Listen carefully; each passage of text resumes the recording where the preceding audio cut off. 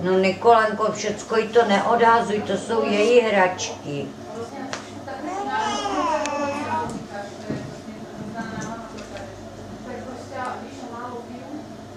Ahoj Juli, jak se máš?